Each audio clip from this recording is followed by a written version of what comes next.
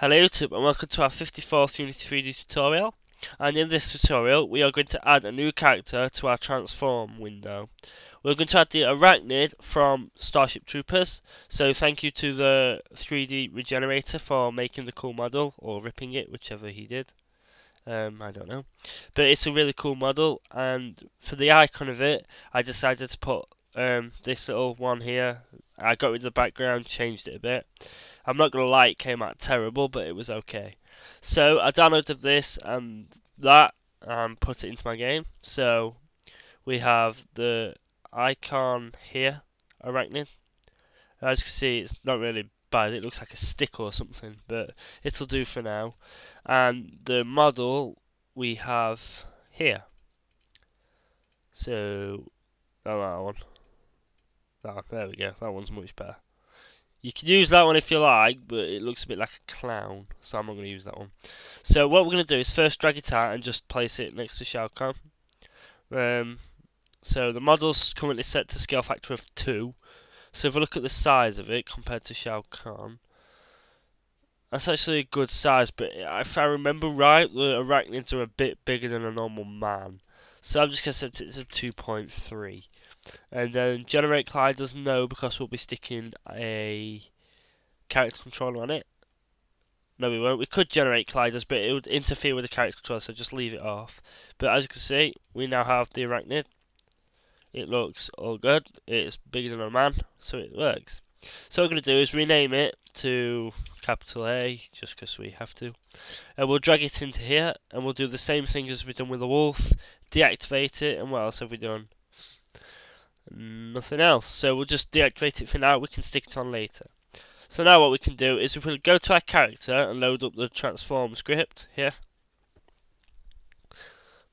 Um, don't worry about the Cinema 4D error. All that means is that one of the models here is was designed in Cinema 4D, so we can't open it. Don't worry about it. Um, so let's see. First, we need to add the icon, so we'll just add that. Um, var arach need icon. And this will be a texture again. So we can assign that to the icon like everything else. What else do we need?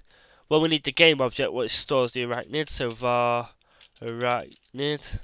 This will be a game object. What else do we need? Well we need the position and size. So if we just copy these two here and paste it in.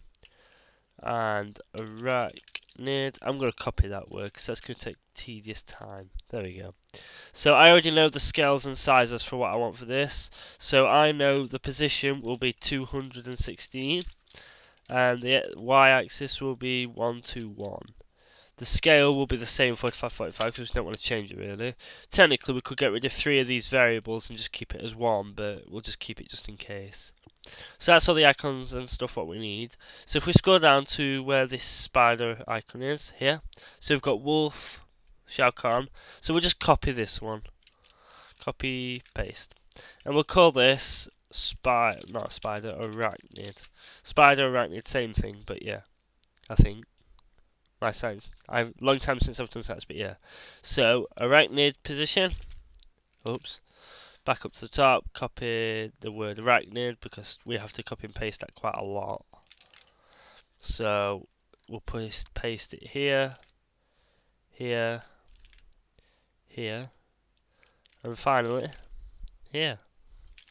There we go. So, oh, and there, and there. There we go. So now that we've done that, that's pretty much nearly almost done. All what's left now is to add it to here, so we can just duplicate this line, paste it in. So now it deactivates it. When we press it, it should add it. Deactivate everything, make him true. Simple as that. So it should be really done. All we need to do is assign the variables and we're done. So wait for it to load itself. Tick tick tick tick. And there we go. Don't worry about the game object here. We'll be fixing off of these warnings soon. It's since we've updated Unity that it won't work. But so we'll add the arachnid here. Boom. Sorted. And finally the texture and then we should try it, test it and we'll be done. This is probably the shortest tutorial I've ever done, but it it works. Let's try it again.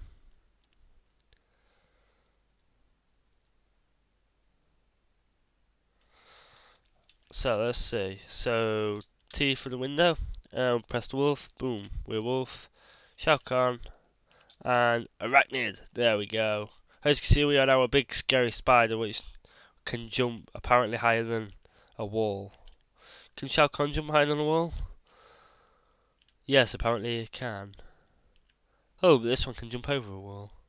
Cat, a tiny wolf jumping over a wall. How funny is that? Boom. Ah, well, anyway, so that's it. Ignore that the fact the smoke particles particles have gone. Um, the video I uploaded of that, the previous video, was made before, so I just need to quickly add them back in, which I'll just add after this tutorial. And then next tutorial, we're going to look over some stats, what we can do. So each character has different stats, like so we can position, make all these into different speeds, because I guarantee Killer Croc will probably run faster than, I don't know, Shao Kahn but I don't know if we had the flash he's obviously going to run faster. So we can add that and that'll eventually help when we make our characters really move. Then we've got the cool line of tutorials coming up. We've got snow we've got drawing swords we've got um, what were some others? We've got loads to come. So thanks for watching. I hope you liked it. Please like it because it's just like it please. And see you next time